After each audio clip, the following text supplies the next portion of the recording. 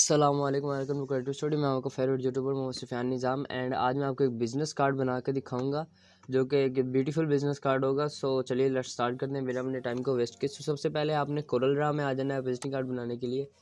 सो Corel Draw में आने के बाद अब आपने उसका साइज़ जो है साइज़ लेना है। अब आपने यहाँ पर रिक्टेंगल टूल लिया। रिक्टेंगल टूल लेने के बाद आपने यहाँ पर कर देना थ्री पॉइंट फाइव कर देना है एंड नीचे आपने टू लगा देना है।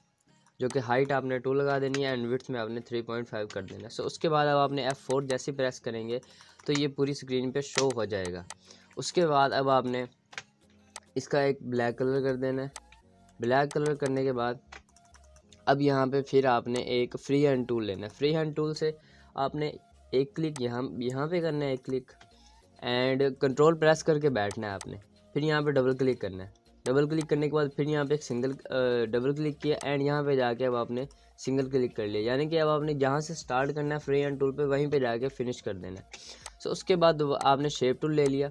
शेप टूल लेने के बाद कुछ इस तरह से हम इसे सिलेक्ट करेंगे। सिलेक्ट करने के बाद यहाँ पर आपको एक ऑप्शन नज़र आ रहा होगा कन्वर्ट टू कर्व्स जैसे मैंने मैंने इसे कन्वर्ट टू कर्व किया, उसके बाद मैं इसे यहाँ से सिलेक्ट करके इसे थोड़ा सा इधर कर दूँगा। कन्वर्ट टू कर्व करने से ये होगा कि ये कर्व हो जाता है एंड आप इसी इजीली इसे जो भी शेप वगैरह बनाना चाहते हो तो आप बना सकते हैं। सो so, मैं इसे थोड़ा और कर देता हूँ इधर। हाँ अब ठीक। सो so, उसके बाद अब आपने इसमें कलर्स कर लेने हैं। सो so, आपने जी प्रेस करना है ये ग्रेडियंट का शॉट है। सो so, मैंने जैसे जी प्रेस किया मेरे पास ग्रेडियंट आ गया। तो मैं यहाँ पे रेड कलर कर दूँगा एंड यहाँ पे भी रेड करके उसे थोड़ा डार्क वगैरह कर दूँगा। सो अगर आपने किसी भी कलर वगैरह को डार्क करना है तो आपने उसमें यहाँ पे आपको सी एम आई का नज़र आ रहा होगा यानी कि सी से सयान एम से मजंटा वाई से येलो के से कनिका होता है। सो so, कनिका जो कि ब्लैक होता है तो हम इसे में ब्लैक ऐड कर देंगे। सो so, मैं इसमें फोर्टी परसेंट ब्लैक ऐड कर रहा हूँ। फोर्टी परसेंट ऐड करने के बाद आपने यहाँ से टैप प्रेस करना है जो कि कैप्स लॉक के ऊपर ही होता है। तो जैसे टैप प्रेस किया तो उसमें ग्रेडियंट हो गया है। सो so, उसके बाद हमने आपको इसकी आउटलाइन ये नज़र आ रही होगी। अगर ये आपको पहले से पता है कैसे ख़त्म होती है तो ठीक है, अगर आपको नहीं पता तो आपने यहाँ पे आके एंड यहाँ पे अपना राइट क्लिक कर देना तो ये आउटलाइन ख़त्म हो जाएगी।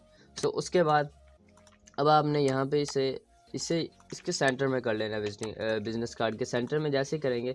उसके बाद अब आपने यहाँ पे एक एलिप्स टूल लेना है। एलिप्स टूल से आपने कुछ इस तरह से एक ड्रैग करनी है शेप सो शेप ड्रैग करने के बाद अब आपने इसे कॉपी कर लेना है।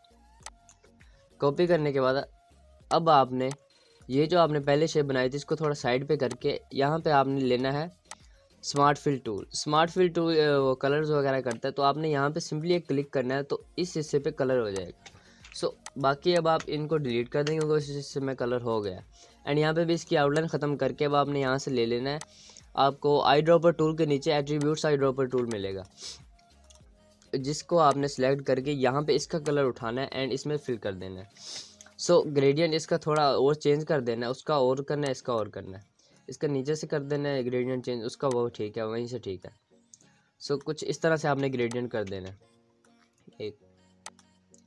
सो so, इस तरह से ग्रेडियंट करने के बाद एंड मैं आपको इस कार्ड की सीडीआर फ़ाइल भी दूँगा। आप पहले ये बनाना देख लें कि ये कैसे बनता है। उसके बाद सीडीआर फ़ाइल लेने के लिए मैं नीचे एक व्हाट्सएप ग्रुप का एक लिंक दे दूँगा, आपने वो लिंक ज्वाइन कर लेना है। वहाँ पे आपको मैं जो भी डिज़ाइन वगैरह करता हूँ, आपको उनकी सीडीआर वगैरह मिल जाया करेगी। सो यहाँ से आपने कुछ इस तरह से बना लेना है। एंड इसे थोड़ा छोटा कर देना क्योंकि ये काफ़ी बड़ा मुझे लग रही है। हाँ बस यहाँ पे ठीक है। एंड इसका थोड़ा ग्रेडियंट भी चेंज करते हैं। कुछ इस तरह से। उसके बाद अब आपने यहाँ पे देखने कि यहाँ पे ये दोनों बराबर हैं या नहीं। इनके कॉर्नर्स आपस में मिलने चाहिए यहाँ पर। सो यहाँ पे करके।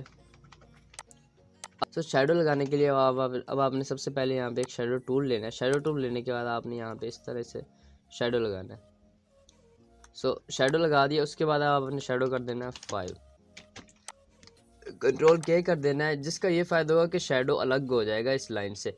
उसका ये है कि आप शेडो आगे पीछे वगैरह कर सकते हैं। सो मैंने यहाँ पे शेडो थोड़ा सा आगे कर देता हूँ।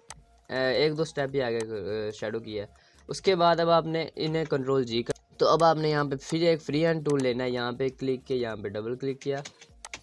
यहाँ पे फिर फ्री हैंड टूल मैंने ले लिया। फिर यहाँ पे एक क्लिक इसी तरह अब आपने वो दूसरी साइड वाले कलर चेंज करना है तो वो ऐसे ही होगा। यहाँ पे फिर double click double click double click and यहाँ पे सिंगल क्लिक तो अब इसमें हमने कर देना है वाइट कलर वाइट कलर करने के बाद हमने इसे कर देना है power clip inside so ये दूसरे हिस्से में वाइट कलर हो गया ठीक है? उसके बाद अब मैं इसका थोड़ा शेडो वगैरह सेट कर देता हूँ। इसका शेडो नहीं मुझे थोड़ा ठीक लग रहा। सो so, ये हो गया। सो so, जैसे ही आप उसको वाइट वाले को ब्राइट क्लिक कर दिया अब हमारे एक बैकग्राउंड बन चुका है विजिटिंग कार्ड का। अब इसकी सेटिंग कैसे करनी है बिज़नेस कार्ड का? तो सेटिंग करने के लिए अब आपने यहाँ पे जैसे कि आपका ये नेम होगा। सो so, जैसे कि अपने इसने अपना ले मार्क स्मिथ लिखा हुआ तो आपने इसे सेंटर में कर देना सेंटर में करने के बाद आपने इसे थोड़ा सा इधर कर देना क्योंकि यहाँ पे हमने इसका नेम वगैरह सेट करने होते हैं। सो so, आपने इसको वाइट कलर करके एंड जो इसका नीचे जो जो भी काम वगैरह करता है सो so, उसको आपने रेड कलर कर देना है। वो नज़र ठीक आ जाएगा आपको। उसके बाद अब आपने इसके वो नीचे नाम नाम नंबर, एड्रेस वगैरह जो भी हैं, यहाँ पे लोकेशन नंबर ईमेल और वेबसाइट का जो भी होता है, वो भी आपने यहाँ पे से लिख देने हैं। तो मैंने तो ये पहले से लिख के रखे क्योंकि नहीं यार लिखने में बहुत टाइम लगता है ये होते भी सिंपल से हैं। सो मैंने ये काम पहले करके रखा हुआ था। सो उसके बाद अब आपने ये जो चीज़ें हैं, इन्हें मैं रेड कर देता हूँ एंड वो आगे वाला वो वाइट ही रहेगी क्योंकि वो हमने दिखाना भी है। उसके बाद अब आपने इसको इधर से बराबर में कर देना एक गाइडलाइन लेनी है एंड मार्क स्मिथ को एंड इन को बराबर कर देना है। तो अब ये बराबर हो गए हैं। एंड इनका साइज़ आपने यही रखना है। साइज़ देख लें कौन सा जो साइज़ है आपने इसी साइज़ में इन्हें बनाना है। सो so, इसे मैं थोड़ा इधर करता हूँ। ठीक है? उसके बाद अब हमने अपना जो टैगलाइन वगैरह होती है एंड क्यू आर कोड भी लगाना होता है। सो वो भी मैंने से पहले से अपने के पास लिख के रखे हुए हैं क्योंकि इन्हें अगर मैं यहाँ पे लिखने बैठ जाऊँ तो आपका इतना टाइम वेस्ट हो जाएगा और मेरा भी बहुत टाइम वेस्ट हो जाएगा। सो so, उसके बाद अब हम अपना क्यू आर कोड यहाँ पे सेट करते हैं। सो so, ये क्यू आर कोड है। यहाँ पे सेट होगा। उसके बाद अब आपने यहाँ पे एक छोटी सी लाइन लगा देनी है नीचे। यहाँ पे लाइन लगा दी है यहाँ पे आपने लाइन लगा देनी है छोटी सी जो कि उसके काम के नीचे आए जो भी वो काम वगैरह करता है उसके नीचे आ जाए एंड आपने इसको वाइट कलर कर देना है। थोड़ी छोटी कर देनी है। सो जैसे कि ये हम इसे हेयर लाइन कर देते हैं। हाँ अब ठीक है। सो so, अगर आप चाहते हैं कि आपकी आउटलाइन जो है उसमें भी ग्रेडियंट हो जाए आपको पता है आउटलाइन में ग्रेडियंट नहीं होता आपने कंट्रोल शिफ्ट क्यों करना है? सो अब आप जैसे जी प्रेस करेंगे तो अब आप अपनी आउटलाइन में भी ग्रेडियंट कर सकते हैं। सो so, शायद ये आपको बात किसी ने बताई हो पर मैं आपको बता रहा हूँ। एंड अगर आपने हमारे चैनल को सब्सक्राइब नहीं किया तो ना भी करे तो चलेगा। आपने सिर्फ़ हमारी वीडियो को देखना है एंड कंप्लीट देखना है एंड उसे लाइक करना है क्योंकि यार हमें वाच टाइम की बड़ी ज़रूरत है। सो so, ये हमारा एक विजनिंग कार्ड बन चुका है। अब आपको इसे थोड़ा ओपन करके दिखा देते हैं। सो so, ये बन चुका है हमारा एक बिज़नेस कार्ड जो कि आप देख सकते हैं आपका नेम आ सकता है इसमें लोकेशन नंबर वगैरह एंड आपका ब्रांड नेम जो भी आप अपने यहाँ पे लोगो लगा सकते हैं एंड आपका क्यूआर कोड भी आ चुका है।